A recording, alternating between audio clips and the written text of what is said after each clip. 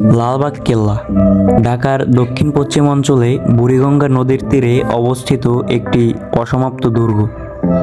এটির নির্মাণ কাজ শুরু হয়েছিল ষোলোশো আটাত্তর সালে। লালবাগ কেল্লা মোগল আমলের বাংলাদেশের একমাত্র ঐতিহাসিক নিদর্শন, যাতে একই সাথে ব্যবহার করা হয়েছে কুষ্টি পাথর, মার্বেল পাথর আর রং বেরঙের টালি। প্রায় প্রতিদিন হাজারো দেশি বিদেশি দর্শনার্থীর পদচারণায় মুখরিত হয় ঢাকার লালবাগ কেল্লার এই দুর্গটি।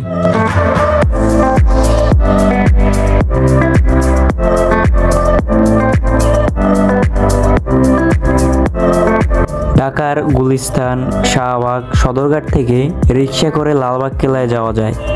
এক্ষেত্রে ভাড়া পড়বে মাত্র পঞ্চাশ টাকা।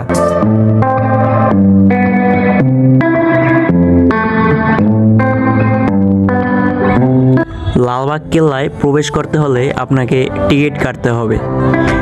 টিকিটের মূল্য জনপ্রতি তিরিশ টাকা। মাধ্যমিক ও উচ্চ মাধ্যমিক স্তরের শিক্ষার্থীদের জন্য টিকিট মূল্য মাত্র দশ টাকা।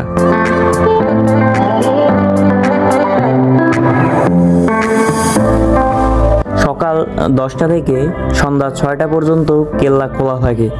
মাঝখানে দুপুরে একটা থেকে একটা তিরিশ পর্যন্ত বন্ধ থাকে। তাছাড়া সপ্তাহে প্রতি রবিবার সহ সকল সরকারি ছুটির দিন কেল্লা বন্ধ থাকে। লালবাগ কেল্লায় দেখার মতো যা যা রয়েছে। কেল্লার তিনটি বিশাল দরজার মধ্যে যে দরজাটি বর্তমানে জনসাধারণের জন্য উন্মুক্ত করে দেয়া রয়েছে, সেই দরজা দিয়ে ঢুকলে বরাবর সোজা চোখে পড়বে পরিবেশ সমাধি।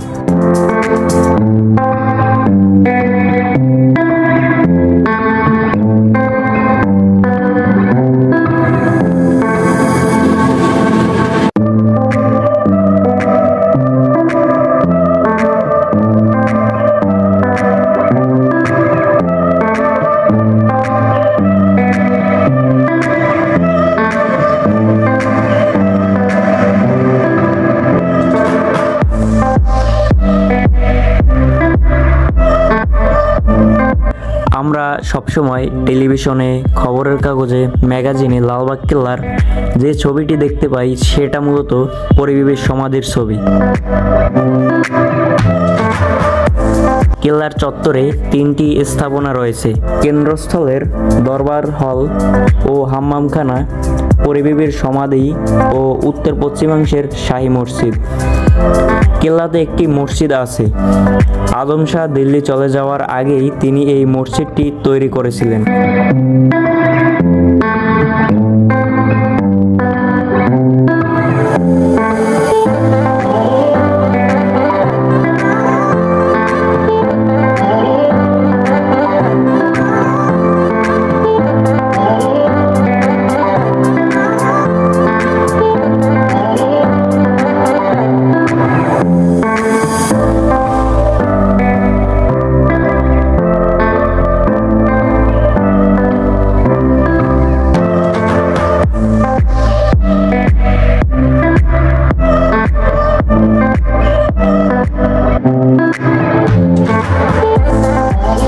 কেল্লাতে সুড়ঙ্গ পথও আছে। লোকমুখে শোনা যায় যে, আগে নাকি সুড়ঙ্গ পথ দিয়ে আসা যাওয়া করা যেত। এখন আর যায় না। এটা নিতান্তই শোনা কথা।